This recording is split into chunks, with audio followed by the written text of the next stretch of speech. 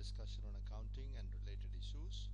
Today we are going to discuss about understand the concept of responsibility accounting and its application in the business management. Uh, unlike the other financial accounting issues, the concept of responsibility accounting is not statutory. It is a managerial driven. So the responsibility accounting is actually dividing an organization into several responsibility centers. And the responsibility centers are headed by certain manager uh, a group or a person. And such manager or managers are responsible for certain predetermined objectives. These objectives depend on the nature of the responsibility center. So the nature of the responsibility center will tell what are the objectives. Let us see what are the nature of these responsibility center. Uh, the responsibility centers actually achieve the objectives of overall goal of the corporates. Moreover, the goods or services produced by these responsibility center may be consumed internally or may be sold outside. And the most important thing which we are going to use extensively in this presentation is that objectives should be measurable and controllable. What is the use of that? So using this measurability and controllability, the responsibility centers would like to define and divide into cost centers, expenses center for the timing. I will ignore that. We'll see why. The revenue centers, the profit centers, and investment center. That means an organization can be divided into cost centers or revenue centers or profit centers so that they will be managed accordingly. But what are these? How to decide whether it is a revenue center or a cost center or a profit center? That depends on the objectives which I mentioned. But those objectives have to be measurable and controllable. So this cost center or revenue center or profit center to decide what is that because since these are not a statutory classification I'll say that classifying the organization into this responsibility center depends on the framework that we will use as a measurability and controllability of what? Of the cost, revenue or investment. That means if the cost is measurable and controllable, or the revenue is measurable, controllable, or investment is measurable and controllable. So let us define in that way. So if I say that is a cost center, in the cost center, the cost is measurable and controllable. Controllable means the manager can take decision to decide whether to incur that cost or not. In the same way, the revenue center means revenue center, okay, revenue center means where the revenue is measurable and controllable. If the revenue is measurable and controllable, then it becomes a revenue center. That means I can hold the manager responsible for the increasing or uh, hold him responsible for the change in the revenue because it is not only measurable but also controllable. The next one is a profit center. So profit center is where the both revenue and the cost are measurable. So the revenue and cost are measurable. Revenue uh, revenue and cost are measurable and controllable. So so we can we are able to see that the measurability and controllability is an important feature for defining this center. So in this way if I use the same framework, the investment center is where cost, revenue, cost, revenue and investment okay? Or in other words let me put asset okay?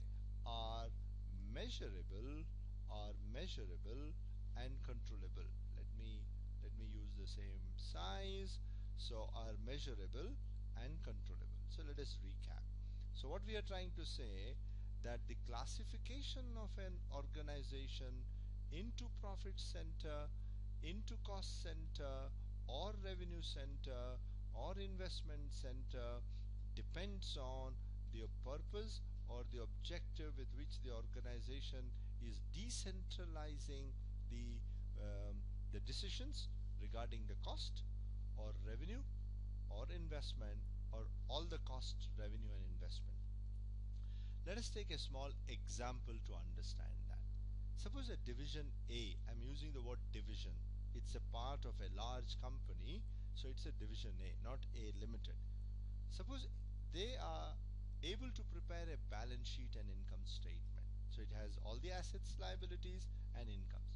So immediately a question comes to mind.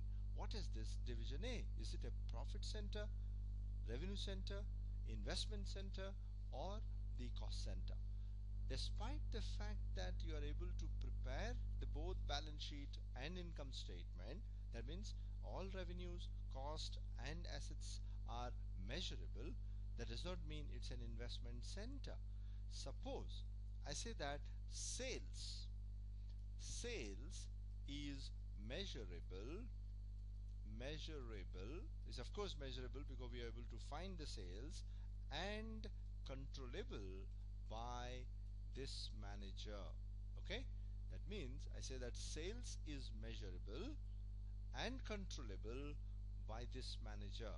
If that is a case in that case the this particular division or in this particular uh, division A will be called or can be called or can be treated as a revenue center okay?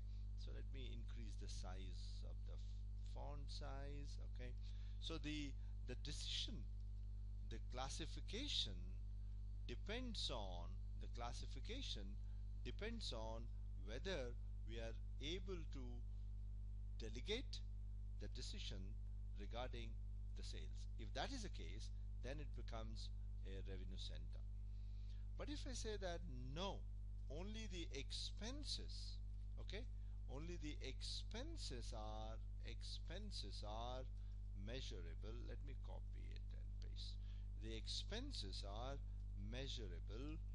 Expenses are only expense what expenses? We'll try to see that as we move along.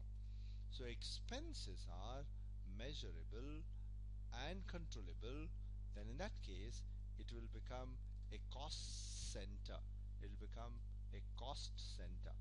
So you can see that. So uh, it does not it is not necessary that you're because you're preparing a balance sheet you are able to measure and you're also able to control. That is a managerial decision. So depending on the delegation of power depending on the decentralization that the company is doing the classification of the responsibility center will be decided. But suppose I say that both okay both the sales both the sales and expenses are measurable sales and expenses and expenses are let me shorten it out are M and C okay? M and C in that case it can be treated as the profit center. That means I'm able to hold this person responsible for the profit. But hold on here for some time.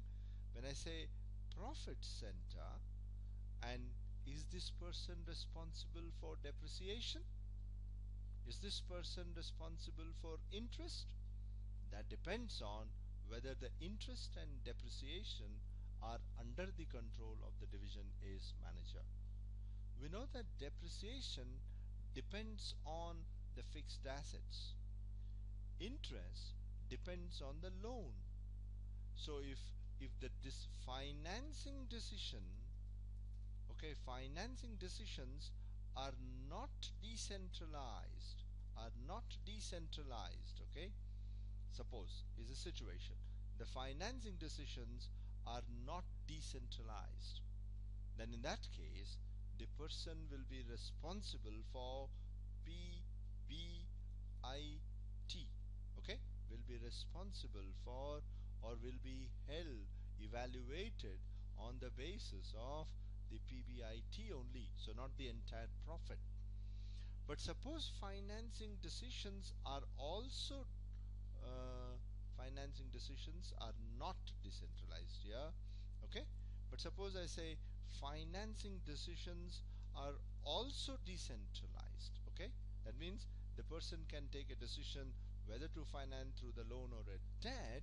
In that case he can be held responsible for PAT or maybe PBT though tax is not under your control that doesn't matter okay? In the same way if I say that investment decisions investment decisions are not decentralized let me first mention let me first explain what I say what I mean by investment decision. For example in this case the investment decisions means depreciation. As we have seen uh, while discussing the financing decision the interest you can see that interest depends on the loan.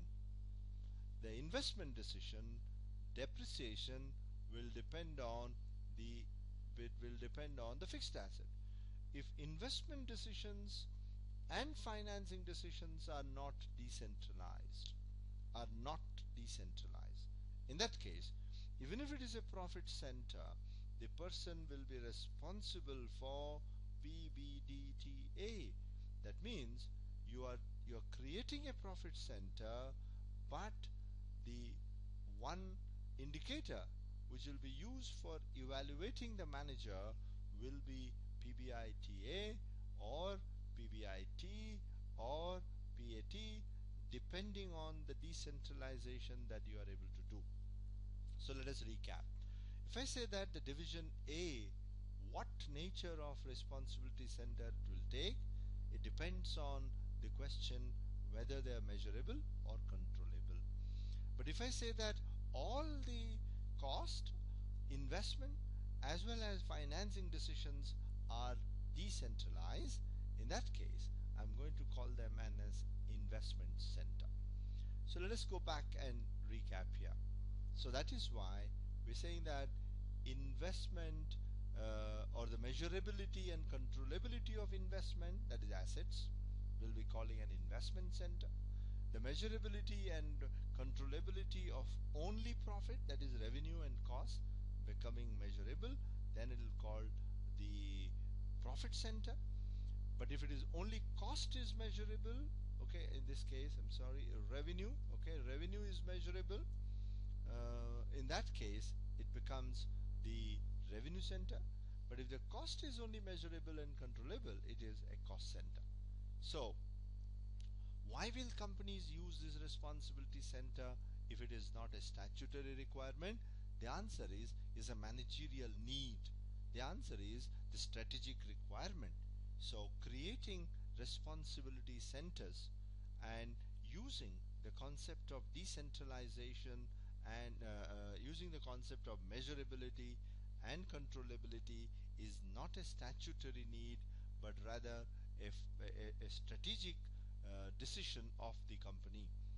Later on we will try to see how the responsibility, what are the major managerial issues involved in managing the responsibility center. For example, in this, how I'm going to manage this division depends on what I am going to evaluate them depends on what decisions I'm actually decentralizing. By treating division A as a profit center, will that affect the will that have an effect on other division is an important question which decentralization uh, raises. So responsibility accounting is more a managerial decision making